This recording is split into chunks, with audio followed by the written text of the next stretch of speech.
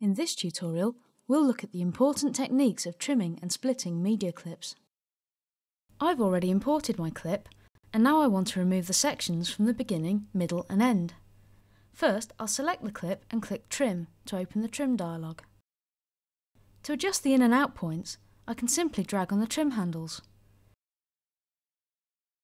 To remove a section from the middle, I'll need to create more than one scene, so I'll click Multi-Trim. To set my first point, I position the time indicator by dragging and refine it using the next and previous frame buttons.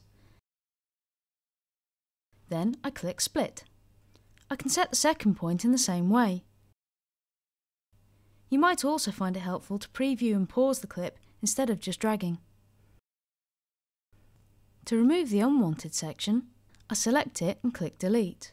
It turns grey to show that the frames have been removed and our two remaining scenes are displayed on the right. You can add as many scenes as you need. When you've finished, click OK and the new scenes are added to the media pane as individual clips. You can also trim and split on the main timeline. If you move the pointer over the edge of a clip, by default it changes to a trim cursor. If you make the clip shorter, it will remove frames. If you make it longer, it adds frames back again. To split a clip, Drag the time indicator to where you want to make the split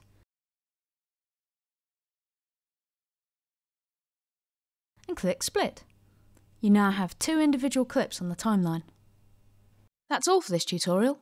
You can find out more about using MoviePlus in our other online tutorials or in MoviePlus Help. Thanks for watching.